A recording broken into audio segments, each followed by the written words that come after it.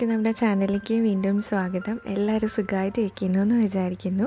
ഇന്നത്തെ വീഡിയോയിൽ നമ്മൾ ബി ടി എസ് ലവേഴ്സിന് വേണ്ടിയിട്ടുള്ള കുറച്ച് സ്റ്റിക്കേഴ്സാണ് ഉണ്ടാക്കുന്നത്. അപ്പം ബി ടി എസ് സ്റ്റിക്കേഴ്സ് മാത്രമല്ല അല്ലാത്ത സ്റ്റിക്കേഴ്സും ഉണ്ട്. അപ്പോൾ around twenty five to thirty സ്റ്റിക്കേഴ്സാണ് ഉണ്ടാക്കുന്നുണ്ട്. അപ്പം നമുക്കിത് എങ്ങനെയാണ് ചെയ്യുന്നതെന്ന് നോക്കാം. അപ്പോൾ ഞാൻ സ്റ്റിക്കർ പേപ്പർ ഒന്നും യൂസ് ചെയ്യുന്നില്ല.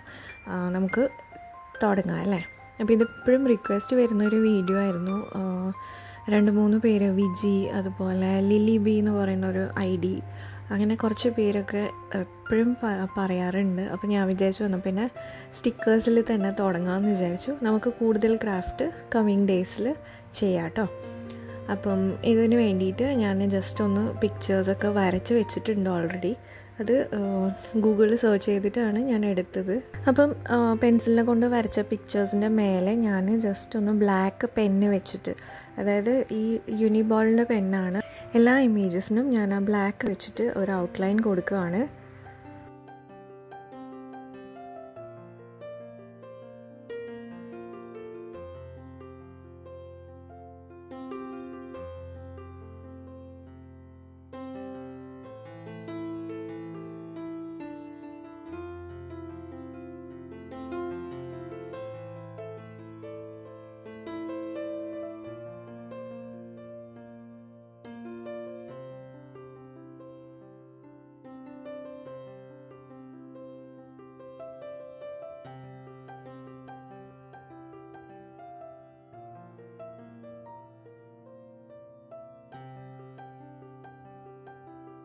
അപ്പോൾ ഇതെല്ലാം വരച്ചെടുത്തിട്ടുണ്ട്. ഇനി നമുക്ക് ഇതിനെ കളർ ചെയ്യാം. കളർ ചെയ്യാൻ ഞാൻ സ്കെച്ച് പെന്നാണ് എടുക്കുന്നത്. അപ്പോൾ സ്കെച്ച് പെന്നാകുമ്പം കുറച്ച് ബ്രൈറ്റ് കളേഴ്സാണ് കിട്ടുന്നത്.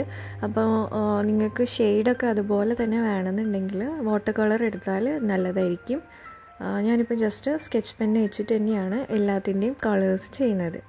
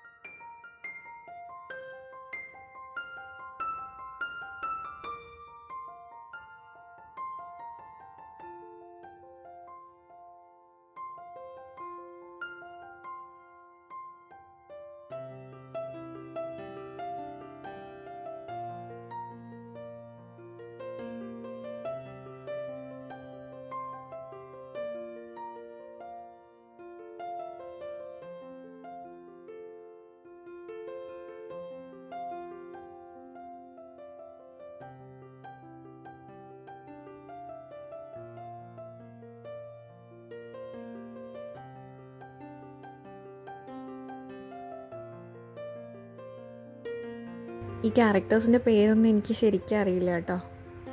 അപ്പം ഇതിലേതാ ഫേവറേറ്റ് എന്നുള്ളത് നിങ്ങൾ തന്നെ കമന്റ് ചെയ്യുക അപ്പോൾ അതായത് ഞാൻ എല്ലാം കളർ ചെയ്ത് എടുത്തിട്ടുണ്ട് ഇനി നമുക്ക് ഇതിനെ സ്റ്റിക്കേഴ്സാക്കി മാറ്റണം. അപ്പോൾ സ്റ്റിക്കേഴ്സ് ആക്കി മാറ്റാൻ വേണ്ടിയിട്ട് സ്റ്റിക്കർ പേപ്പറിന് പകരം ഞാനിവിടെ ഇതുപോലത്തെ കവറാണ് എടുക്കുന്നത്. അതായത് നമ്മൾ ഡ്രസ്സൊക്കെ മേടിക്കുമ്പോൾ കിട്ടുന്ന ആ ഒരു കവറില്ലേ അതാണ് എടുക്കേണ്ടത്. അത് ട്രാൻസ്പെറന്റ് ആയാലും കുഴപ്പമൊന്നുമില്ല.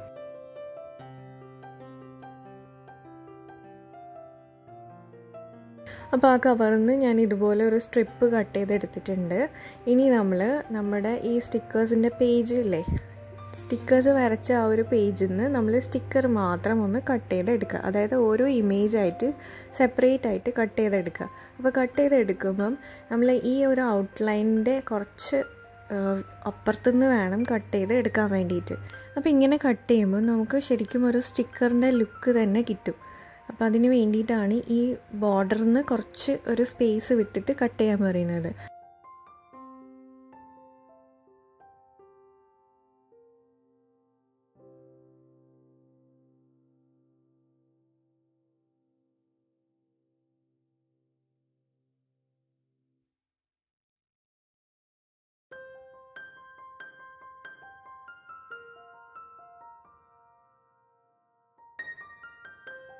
അപ്പോൾ നമുക്ക് ഇതുപോലെ എല്ലാ സ്റ്റിക്കേഴ്സും കട്ട് ചെയ്ത് എടുത്തിട്ടുണ്ട് ഇനി നമുക്ക് ഇതൊന്ന് ആ ഒരു വൈറ്റ് ഷീറ്റില്ലേ പ്ലാസ്റ്റിക് ഷീറ്റ് അതിന്റെ മുകളിൽ വെക്കുക. എന്നിട്ട് ഒരു സെലോ ടേപ്പ് എടുത്തിട്ട് അതായത് പോലെ ഒന്ന് ഒട്ടിച്ചു കൊടുക്കുക.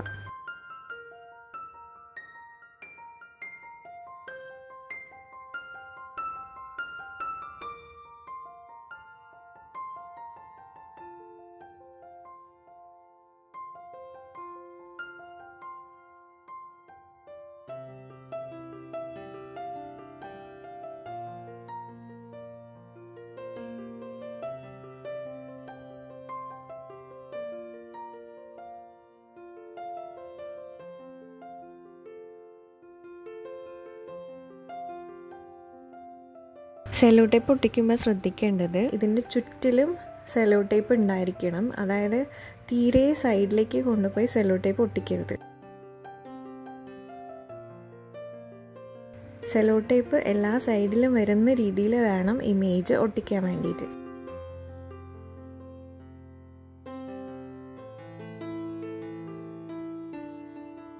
ഇനി നമുക്കിത് കട്ട് ചെയ്തെടുക്കണം. അപ്പോൾ കട്ട് ചെയ്യുമ്പോഴും സെലോ ടേപ്പ് കുറച്ച് പുറത്തേക്ക് നിൽക്കുന്ന രീതിയിൽ വേണം നമ്മൾ കട്ട് ചെയ്ത് എടുക്കാൻ അപ്പോൾ നമുക്ക് ബാക്കിൽ ഇളക്കിയെടുക്കാൻ പറ്റുന്ന ഒരു പേപ്പർ നമുക്ക് കിട്ടും. അതായത് സ്റ്റിക്കർ പേപ്പറിന് പകരമായിട്ടുള്ള ഒരു പേപ്പർ നമുക്ക് കിട്ടും.